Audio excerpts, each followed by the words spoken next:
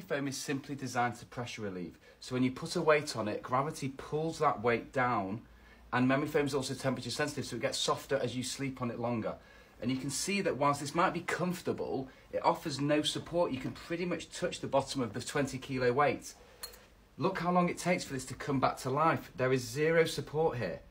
When you put the same 20 kilo weight on a Levitex pillow, it still absorbs that force. It still has some envelopment and immersion, but not the same collapsing as this crap. So you get the same support without sinking in. The force of this weight is being absorbed by the whole pillow, not just from top to bottom. So that when you take it off, you see that there's no indentation. You have much more stability and support on Levitex and it's not temperature sensitive.